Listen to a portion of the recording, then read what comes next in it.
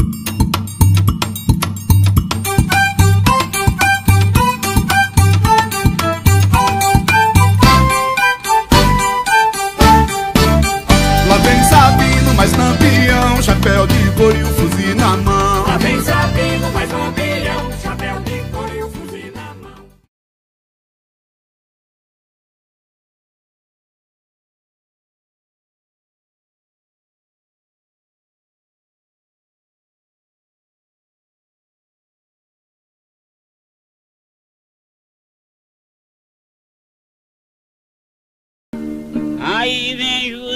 Rufino perseguindo o cangaceiro.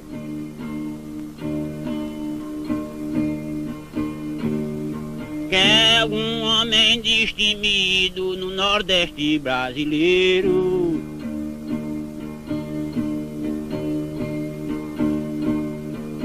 Sujeito das pernas moles e tem um dedo ligeiro.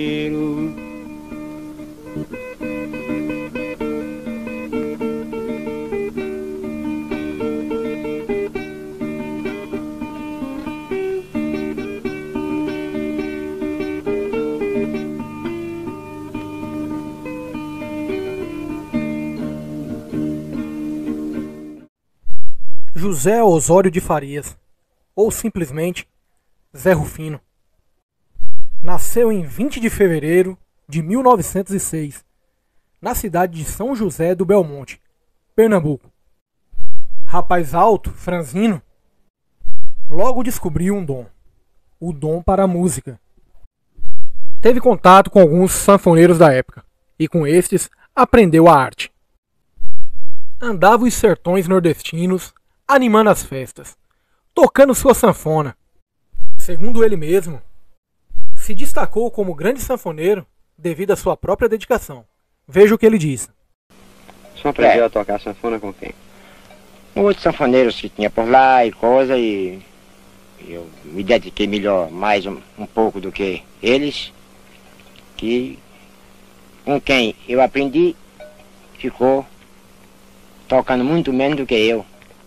A minha vida era tocando nas festas. Tinha ocasião que o padre de Belém saía de Belém para naquelas desobrigas, naquelas caatingas, naquelas fazendas, fazendo casamento, e eu era convidado às vezes para tocar assim em seguida, cinco, seis noites. Segundo o mesmo, não tinha interesse de entrar nem para o cangaço, nem para a polícia. Mas, temendo por sua vida, sabendo que Lampião poderia lhe fazer algum mal, decidiu entrar para as forças volantes. Seguiu para a Bahia, mais precisamente para Jeremoabo, onde ali iniciaria sua história no meio militar.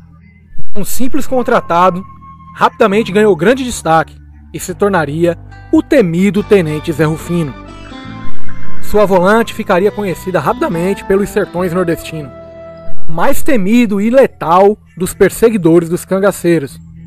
Teriam tombado cerca de 20 cangaceiros, com a participação do Tenente Zé Rufino. Veja alguns nomes que o mesmo disse que eliminou. Coronel José Rufino, quantos cangaceiros o senhor matou?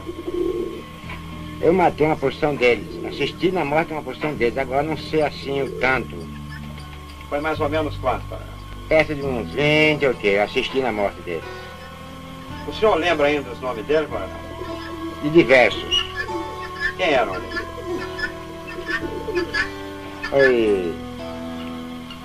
Meia-noite, é, catingueira, quinaquina, sabonete, é, azulão, canjica, zabelé, aliadóia, mariano, Pai Velho, Zé Pilim, Pavão,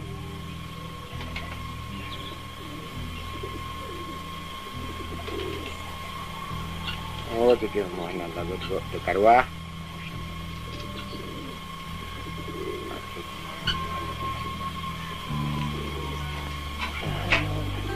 Barra Nova,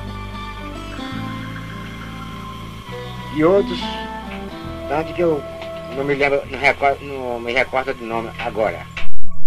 Naquela época, o sertão nordestino passava por maus bocados. Cangaceiros e volantes guerreavam em meio às caatingas. E esta guerra afetaria diretamente Zé Rufino, que até então era conhecido como Zé de Rufina. Pois bem, Zé Rufino teve dois contatos com o Lampião, onde o mesmo o convidou para entrar para o bando. E Zé Rufino demonstrou pouco interesse, rechaçando a propostas. Porém, Lampião, o rei do cangaço, não era muito adepto de ouvir o não, e isso lhe causaria um grande problema. Veja o que o próprio Zé Rufino diz sobre Quando o senhor viu o Lampião, coronel? A primeira vez foi em Pernambuco.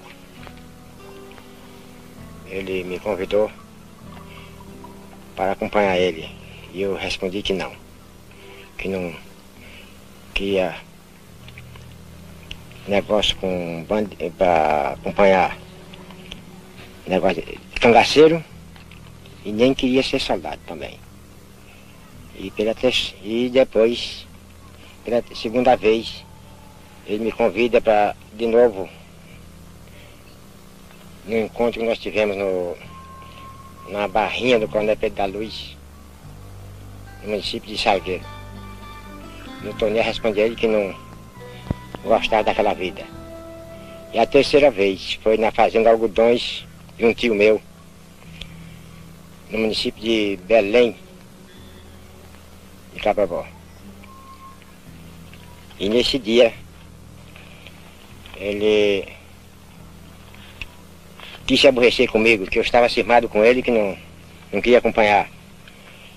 Eu, quando, quando ele falou assim, eu vi, olhei e vi logo uns quatro cabras dele a rodear pelas minhas costas, viu? Aí eu fiquei desconfiado que aí ele ia me matar. Encostado a ele assim, eu digo, eu posso morrer, mas ele vai comigo.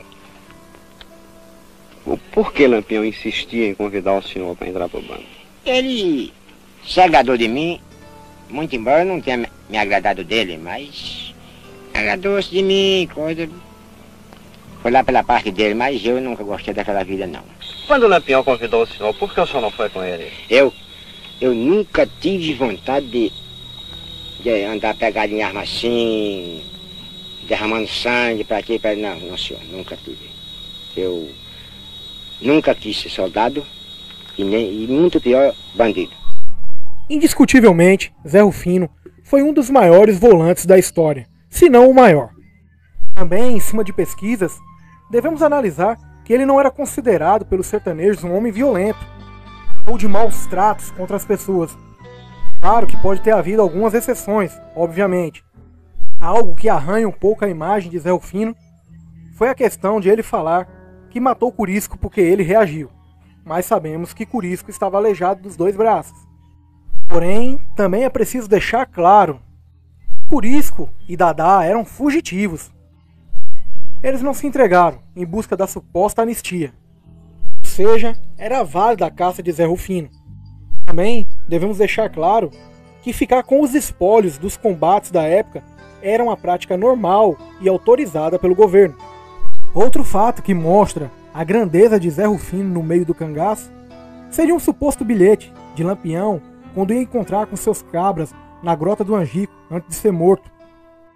O suposto bilhete dizia o seguinte: Precisamos dar uma lição a Zé Rufino. Por que ele está querendo passar de pato a ganso? Se de fato esse bilhete for verdadeiro, podemos ver a importância de Zé Rufino e o quanto ele incomodava os cangaceiros. Tanto que o próprio Lampião estaria planejando algo para dar cabo do mesmo. Coronel Zé Rufino viveu em Jeremoabo por muitos anos, deu entrevistas, participou de reencontros com cangaceiros como Ângelo Roque e a própria Dadá, aquela que ele poupou a vida no passado e matou o seu companheiro, Curisco. Uma coincidência cerca a vida e a morte de Zé Rufino. Ele morreu no mesmo dia que nasceu. Quando completava 63 anos de idade, em 20 de fevereiro de 1969, vítima de ataque cardíaco. Uma nota triste sobre esse grande personagem da história do cangaço é que após ser enterrado no cemitério em Jeromoabo, com o passar do tempo, seu túmulo se perdeu e até hoje ninguém sabe aonde está o túmulo de Zé Rufino.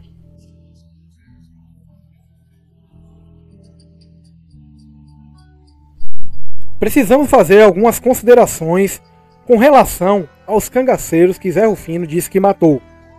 primeira observação é a seguinte: vários casos, Zé Rufino era apenas um contratado e participou do combate. Ele falar que executou também não significa que foi ele propriamente que matou o cangaceiro. Ou seja, ou ele estava presente, ou ele era o comandante da volante que fez o ato. Um ponto simples, mas que muita gente comete erros que devemos analisar aqui é o seguinte: quando Zé Rufino diz que matou meia-noite, não significa que ele matou Augusto Bagaço, aquele que teria lutado contra mais de 100 homens da volante. Quando Zé Rufino diz que matou Catingueira, não significa que seja aquele Catingueira, Cícero Garrinchinha, marido de Aristeia.